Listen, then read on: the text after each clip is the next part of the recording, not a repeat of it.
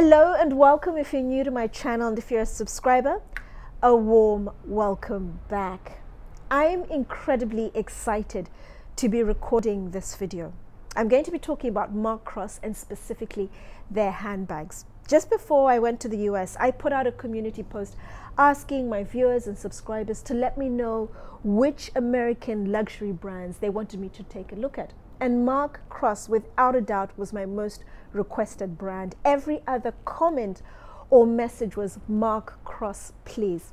And coupled with the fact that when I got to their flagship store in um, New York, it's on Madison Avenue, the young man who served me was an exceptional ambassador for the brand. He's the best they could have had. He was engaging, he was attentive, he knew his product very well, what I would expect. But most of all, he was incredibly professional the whole time I was there. He didn't drop a ball on anything. So he has made researching and recording this video incredibly enjoyable for me. I'm Anesu Sagonda, and I produce educational luxury content for anyone after the finer things, whether you're young and starting out in life and wanting to reap the benefits of buying quality from the get go, or you're new to money and wanting to learn how to navigate the terrain, or you're into luxury but you want to focus more on quality under the radar brands, then my content is geared towards you.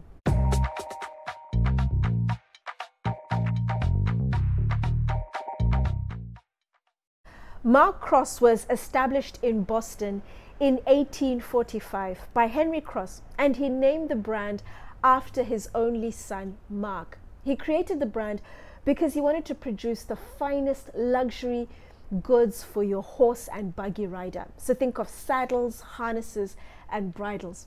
Over time, he increased the range of products, and it very quickly became the quintessential American luxury lifestyle brand. And then late 1800s, he sold the brand and was bought by the Murphy family, Patrick Murphy, who worked very closely with his son Gerald. They expanded the brand. Previously had just one store in Boston. They opened another one in New York, and then a number of international stores, one in London, one in Paris, and one in Milan. And what that meant with international travel is they were being exposed to luxury goods that weren't available or even known in the United States.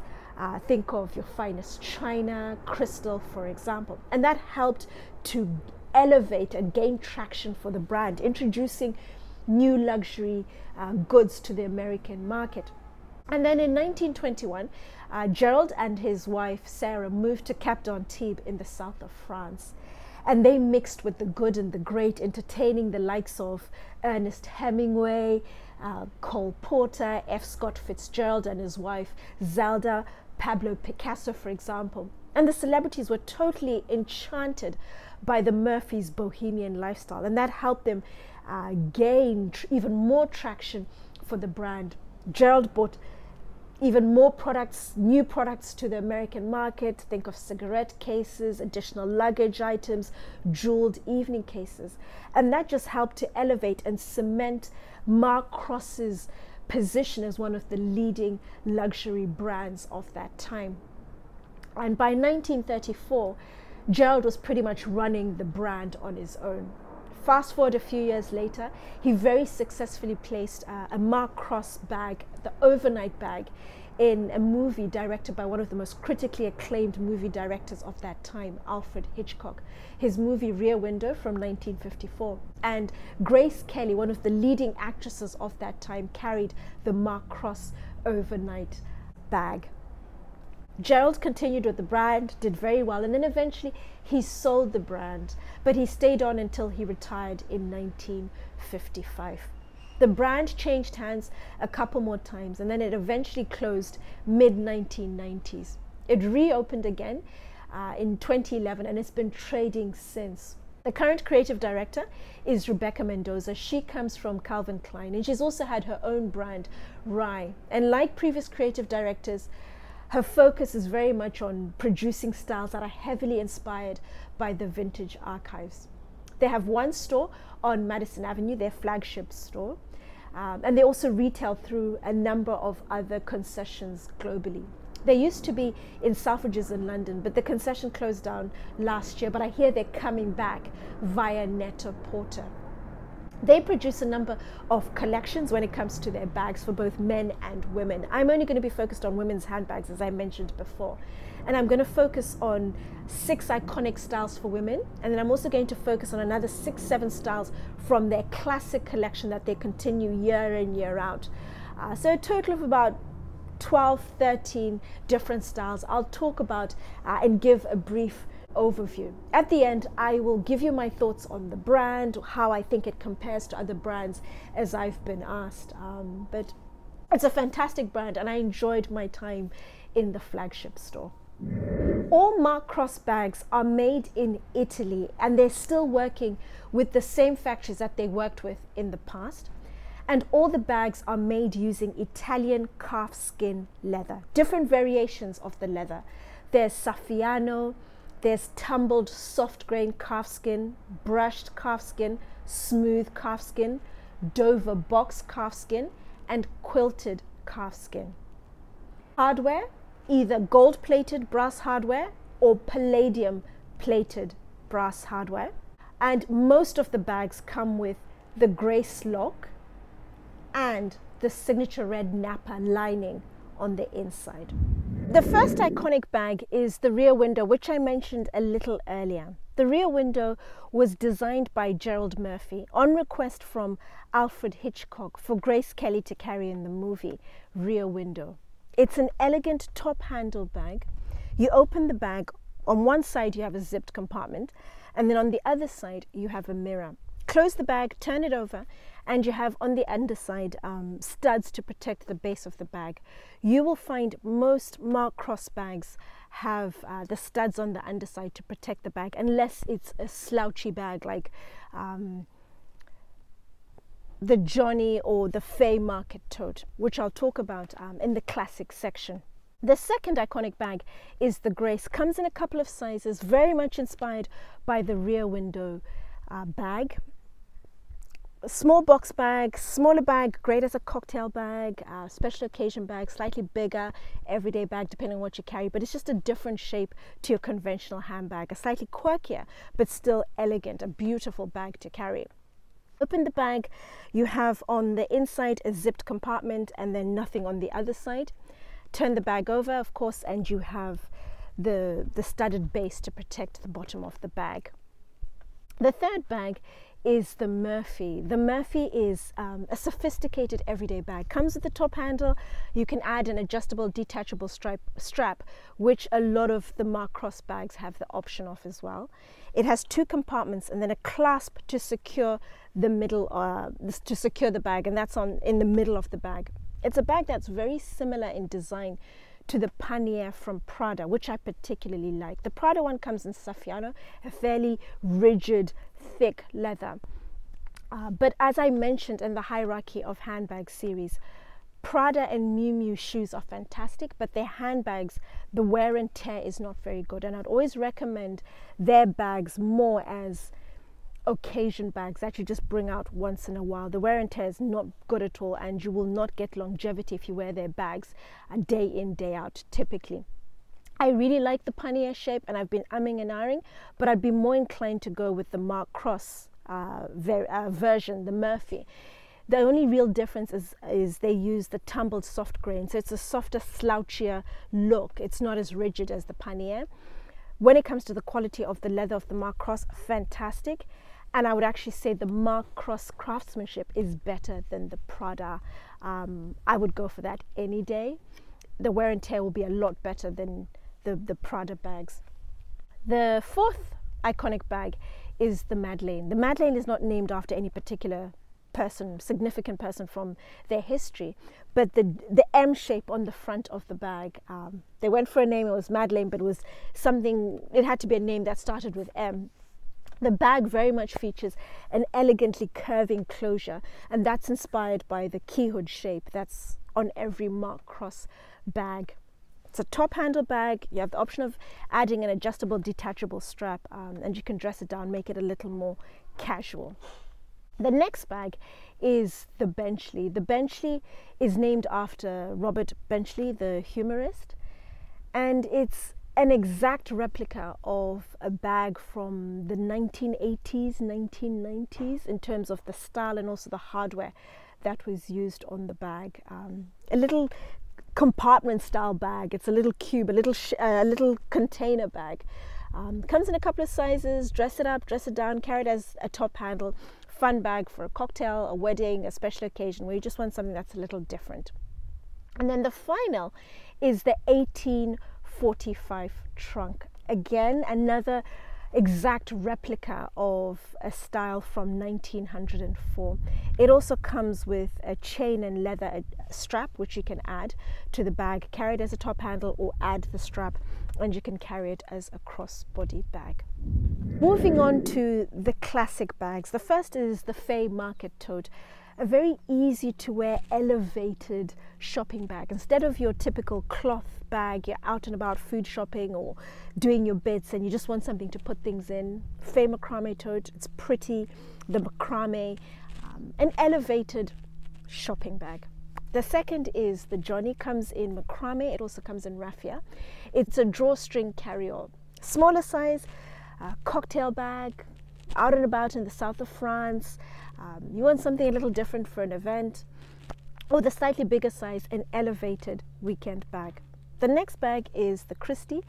It's a chic and polished top handle bag. Also comes with um, an adjustable detachable strap so you can dress it down um, as a crossbody, easy to wear everyday bag. It also comes with the new design of the Mark Cross knot motif on the front. Next bag is the Maddie. The Maddie is a variation of the Madeline. It's lighter weight in construction, it's minimal hardware, and it only comes in the tumbled soft grain.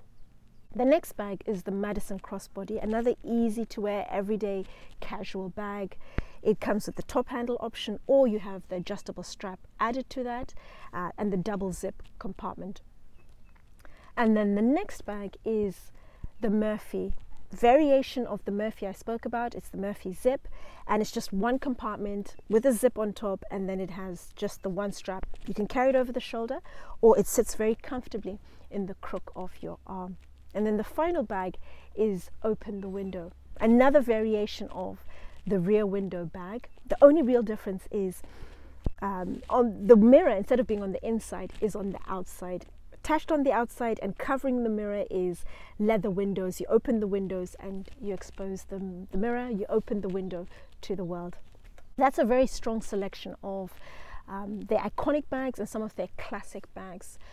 Mark Cross sits very comfortably within the premium core that I've spoken about in my hierarchy of handbag series. I'm going to attach the video above.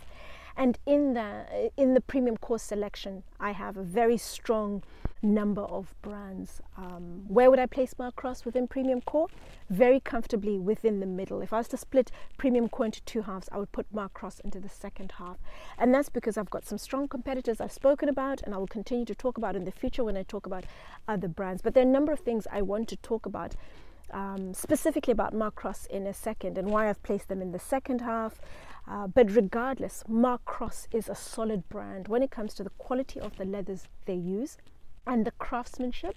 It's absolutely fantastic. But there are a number of things that niggle and i'll address in a second. When i get asked about mark cross one of the common questions i get is how does it compare alongside brands such as moynat valextra and delvaux those three brands, Moynat, Delvaux, Valextra, are typically the top brands in their respective countries. So Moynat I'd place alongside Hermes as one of the two top brands. There's uh, another one I'm going to fit into that equation a little later that I'll talk about uh, once I've made it out to Paris. Delvaux is the top Belgian brand, and you have Valextra, which is one of the top Italian brands. There are a couple of other brands um, I would say also the top uh, when it comes to Italian brands, but I'll talk about those again when I've been out to Italy again later this year. I would also throw into that equation uh, Loewe, the top Spanish brand, and I would also throw into there Bally, the top Swiss brand. How does Mark Cross compare? Well, in comparison to Mark to Moynat and Delvaux, there's no comparison. Moynat and Delvaux are a higher level of luxury. They are super premium. So you are buying into absolutely everything the quality, the prestige, the heritage, the exclusivity, and so forth. And that is very distinctly reflected in the quality of the leathers that's used and also the, the exceptional craftsmanship. Those two brands are far superior when compared to Mark Cross. They do not compare at all. But when you throw in Valextra and also Loewe, for example, they are same level of luxury as Mark Cross. I would say Valextra and uh, Loewe are superior, not far superior, but superior to Mark Cross. When you look at the quality of the leathers used, and also the craftsmanship. There is a difference when you look at everything the, the stitching, you look at the leathers, you look at um, the hardware, you look at the text that's written on the hardware, you look at the edge coating, you look at the color, absolutely everything. It's superior to Mark Cross. But when you throw in Bally, and Bally, as I mentioned in the hierarchy of handbag series, and also spoke specifically about Bally, I'll include both of those videos. Bally is actually a level below, a luxury level below Mark Cross, which is premium core. They are accessible core. So bags that are typically priced from about, about 950 pounds, 1,000 pounds through to about 1,500 pounds. Bally is a brand where you are getting amazing quality for a steal. They should actually be more expensive considering what you what you get. Bally bags are also very similar to Mark Cross in that they're produced from Italian, very good quality Italian uh, leather. And uh, depending on the style, Bally bags are either made in Italy or they're made in Switzerland. Exceptional craftsmanship. It's a brand that punts very much under the radar, as I mentioned, but it's absolutely mighty when you consider the quality you're getting from Bally, the longevity. And I'm getting a lot of messages from people saying, Thank you for introducing me to Bally because it's an amazing brand. I like it. I'm happy with what I've bought. I would put Bally and Mark Cross alongside each other in terms of the quality of the leathers used and also the craftsmanship. Recently, one of my subscribers said, When you look at brands, when you talk about brands, can you just let us know, does it look expensive? When I look at Moynat, Delvaux, Valextra, those three brands, any bag they produce looks expensive. It has the wow factor. You look at it, you touch it, you smell it, you feel it. You can see, you can just feel the quality of the leather. You look at the stitching, the way it's been re- reinforced. Everything about the bags, um, the edge coating I've mentioned from uh, Valextra, which is amazing, the Taurillon uh, leather from Moynat. I mean, Everything about those three brands is amazing. They look expensive. All their bags look a million dollars. But Mark Cross doesn't look expensive.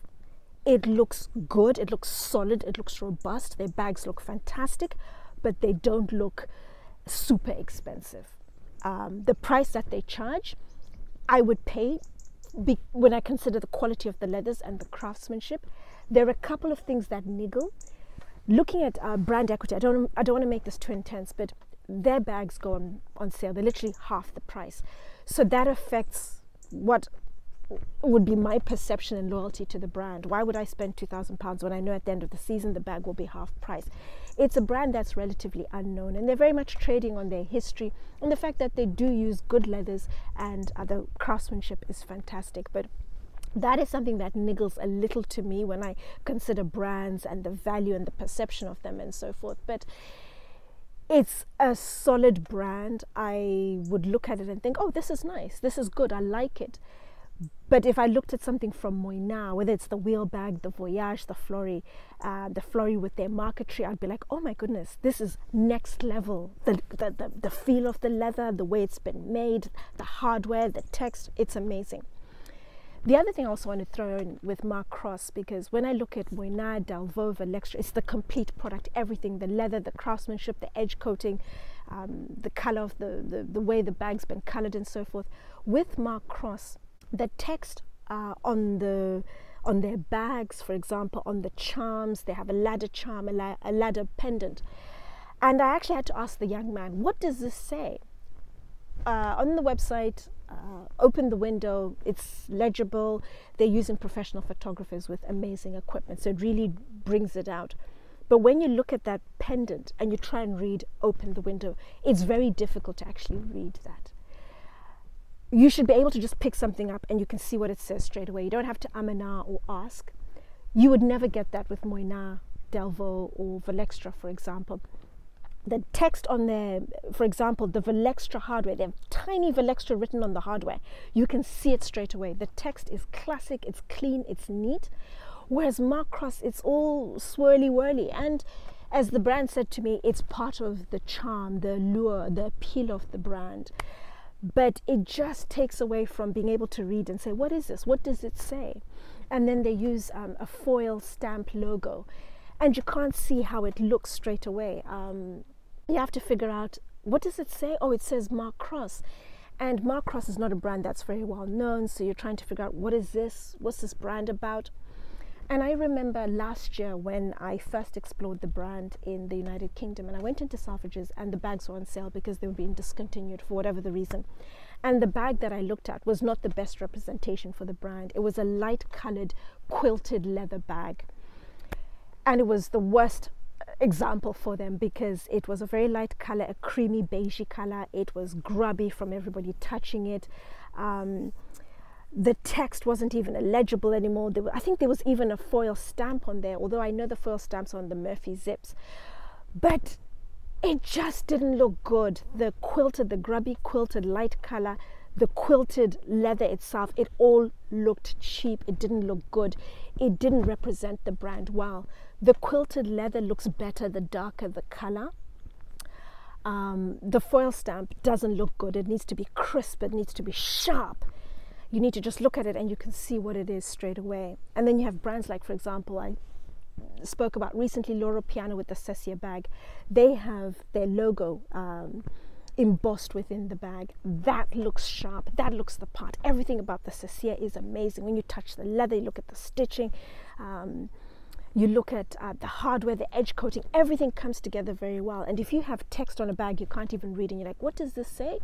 It takes away from it it takes away from just that whole overall appeal. But I don't know, maybe I'm being um, a little too harsh on the brand. But if you want to play with the big boys and girls, then absolutely everything needs to come together at a very high standard. I'm sure you noticed halfway through the video that the background scenery changed. I'm currently in a property called Meadowgate. It's located five hours from London in a village called Welcombe in the county of Devon. And I'm here for a week for a birthday party.